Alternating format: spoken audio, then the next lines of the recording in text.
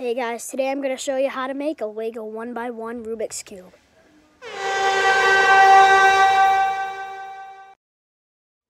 Here is everything you're going to need to make your Rubik's Cube.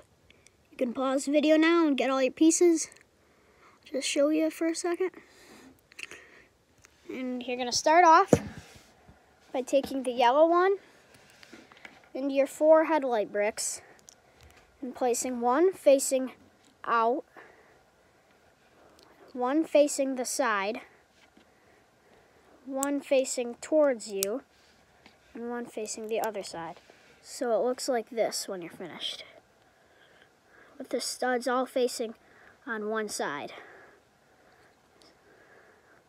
Okay. Now you're going to take one of these, for example orange, and put it on one of the sides. Take another one put them on on every single side like this. You can like take a Rubik's Cube to see which center pieces you need to use. Okay. Um, so green goes opposite blue, orange goes opposite red. Okay. And then yellow goes opposite white.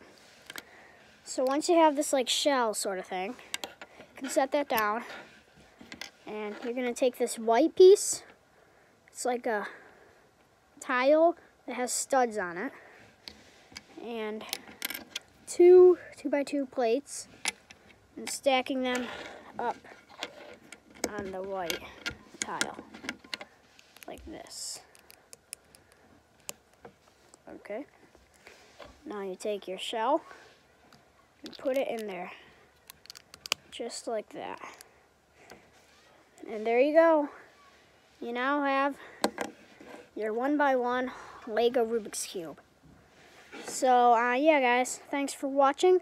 Make sure to like and subscribe, and we'll see you on the next video.